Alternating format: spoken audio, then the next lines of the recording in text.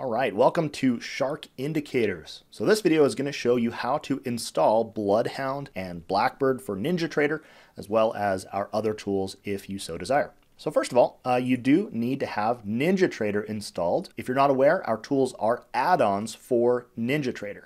So to learn more about NinjaTrader, if you're brand new, just go to ninjatrader.com. They do have a free version that you can play with, even without setting up a broker or anything like that.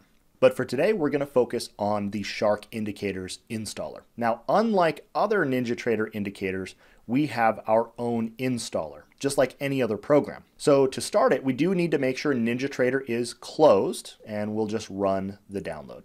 Now this will look for your NinjaTrader 8 folder in your documents. If you have it in some other wonky place, make sure that that's correct. But most people, it'll be right there.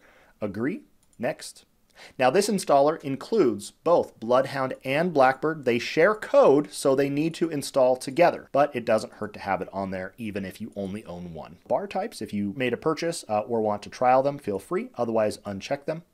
And I would recommend leaving everything else default. So bar types and heat map you can choose, but everything else leave these default and the unsupported or anything else that is unchecked by default, I recommend leaving it that way. There's a good reason for that. We'll click next and install. Yes, if it asks you for admin permission. So this is the first video of a series of introductory videos. So if you're brand new, continue on after this so that we can get started. It will pop up a web page to our documentation. You can minimize that for now if you want, and start NinjaTrader. All right, we'll see you in the next video.